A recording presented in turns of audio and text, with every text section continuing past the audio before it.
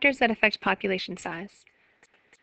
First, I want to define carrying capacity. It's the maximum population that a particular environment can sustain. So, for example, if you have the number of individuals here and time here, if the population starts out very small, it's going to look like this, and it's going to increase over time, and then at some point the population should, should sort of level off. And so this would be your carrying capacity. This is something called overshooting your carrying capacity, and you can overshoot your carrying capacity for a little bit, but at that, after a while, um, the population will crash. So here's an example of that. So this is a reindeer population, um, I don't know, somewhere. And so if you, scientists have estimated that the carrying capacity is here, um, somewhere around, I don't know, um, 300 organisms or so. And so the reindeer population increased, and then at one point they really, really, really overshot their carrying capacity. And so you get what's called a population crash when the population goes very, very, very low. And sometimes what will happen is they'll degrade their environment. So while you have way too many for the environment, they'll actually kill off the things that they eat. So the trees will all die the area. You know, they'll have stripped all the bark off of the trees, or well, it's reindeer, so maybe eat all the lichen. I don't know. Um, and then you have less food, and so you can actually drop your carrying capacity to a lower number at that point. So if carrying capacity is exceeded, the population may degrade or destroy the environment and actually decrease the carrying capacity, so your numbers would be lower. So what determines population um, increases or decreases? So really we're looking at a few things, birth rate, death rate, and who moves in or out of the area. And so this looks like people, but you can apply this to any type of organism. So the first thing is migration. So migration means um, moving around. So it includes both immigration, which means moving into an area, or emigration, which means moving out.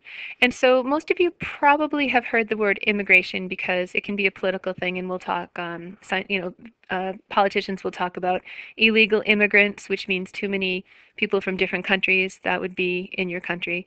Um, and so that means moving in. And so it could be um, how many deer have moved into the area, or you could look at um, you know how many how many muskrats have moved into the area. Emigration would be moving out. So think I in and E for exit. And then the next thing is birth and death rates. So if you have lots being born but lots dying, you're going to keep a, a pretty stable population. But if a lot are being born and um, not too many are dying, then the population will increase. So the birth and death rate can be affected by a number of things as well as migration. Food and water, if you have plenty of food and water, then you will probably have more births, less death, and more immigration. If you have lots of competition for resources, organisms may leave or may die, or fewer will be born because the moms can't um, have enough food to carry the offspring long enough. Um, you could have a lack of space. You could have parasitism and disease. So that's density dependent, which means if you have more organisms of the same species around, they're more likely to pass parasites and diseases to each other. And then predation. So again, that's a little bit density dependent too, because if you have lots of, let's say, frogs in an area, you'll probably have more muskrats in that area. Um, waste accumulation, the more organisms you have, the more waste is produced. You'd probably have more organisms leaving or emigrating, and not so many being born and more dying. Stress and overcrowding tends to happen when you have too many organism, organisms around too. And then you have something that's called independent population density. Um, um, factors. So weather would be one of those. So if it got really, really, really cold one year, it wouldn't really matter whether you had a lot of deer or a few deer. All of the deer would be affected the same, and more of them would probably die. And so here's just um, a kind of a famous example of the um, snowshoe hare and the lynx. And if you look at this, um, let's see, the lynx is the pink one. And so every time you see the hare population increase, the lynx population kind of increases a little bit after that. And so the thought is that if you have more hares around, there'll be more lynx around. And then when the population of the hares declines a little bit after that, the population of the lynx will decline too because they won't have so much food. So maybe these two are tied together. Maybe they're not, but it suggests that they are. So predator populations decrease just after po prey populations decrease sometimes because of a lack of food. And um, I can't do population stuff without talking about people. And so this is um, a graph of the population of the planet. And so, let's see.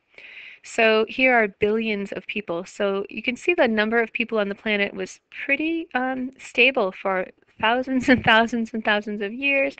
Um, and then we and so I remember being in I don't know if it was high school or college and there were something like four billion people around or four and a half billion or something around.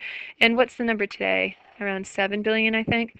So um, yeah we're increasing at a, a pretty scary and fast rate kind of like um, bacteria in a petri dish. With that happy note um, have a good evening